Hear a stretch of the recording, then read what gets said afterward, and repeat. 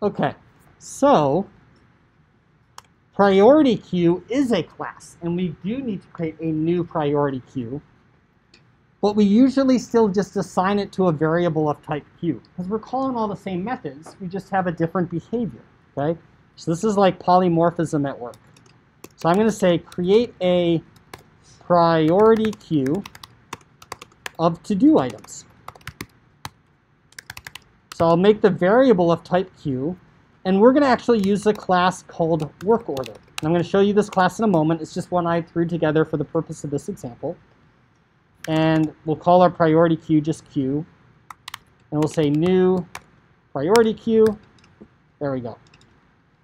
So we have to create a new concrete class, priority queue, but we'll assign it to a variable of type queue because all we're going to call is like add and remove and peek and stuff.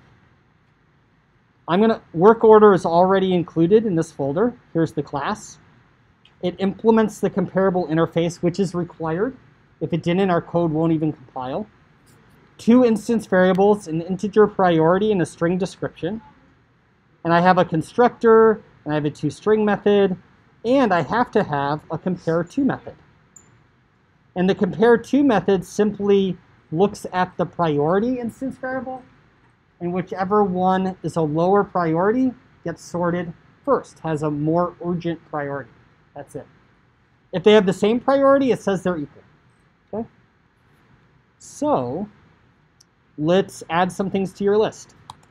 All right, important stuff. Your folks had me, uh, they might have influenced your to-do list for the weekend. So new work order, priority three, vacuum. Excellent to help out keeping the house clean. So priority three to vacuum. Important, not critically important, important. All right, um, I'm going to copy stuff here just so I don't have to retype all this. All right, we're going to add to the priority queue a new work order, of priority two, more important, water plants. If you don't water the plants, they're going to die. So that's more important. Um, other more important things. You need to make dinner because otherwise you're going to be hungry. Um, other pretty important things. You need to walk the dog, or else you're going to have a whole nother set of tasks on your to-do list. All right. This one they specifically asked me to make priority 9. Play video games. Excellent. And the most important thing for this weekend, priority one, take chapter 15 practice quiz.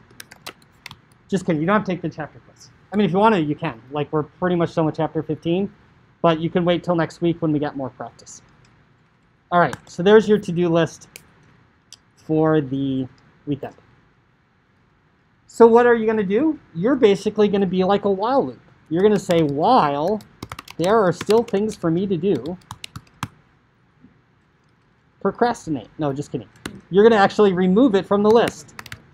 System.out.println. Queue.remove. Remove the next, remove the most urgent item in the priority queue. Remove returns the value of that item. We're going to print it out so you know what to do. Here's what I'd like you to try. Okay, this is a little not as straightforward as the queue was.